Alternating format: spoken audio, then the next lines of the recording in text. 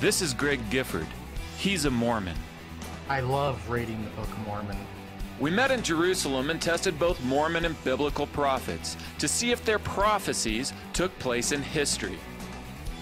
So, are you willing to do that? Yeah, let's do it.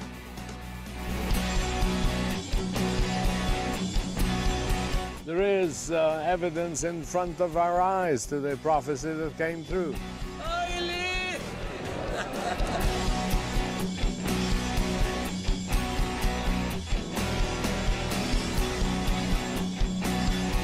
Do you have anything like this in Mormonism for the Book of Mormon?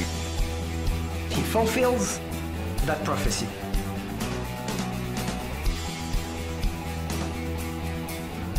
This has to be the tomb of uh, Jesus.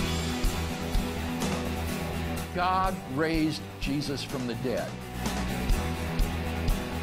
That was the message they proclaimed in Jerusalem and were willing to die for.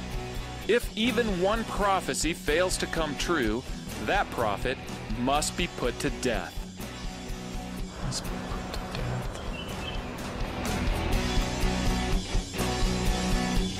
Did that prophecy come true in history? Absolutely not. Just a mistake. I, I, I don't know what else to say about it. I guess it could be said that the Bible backs me into a corner.